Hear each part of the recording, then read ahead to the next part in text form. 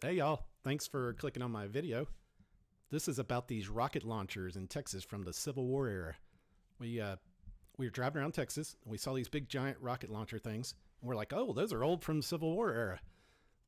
So we got the drones out and we flew around and they're not Civil War rocket launchers. It's the first college in Texas, uh, built in 1845. This is all that's left of it. It's Baylor College. This is the women's section. It looked like that back then. So back then they separated the men from the women in college. That's all I got. Thanks for clicking on my video. Don't forget to like and subscribe. And I uh, hope you're having a great day.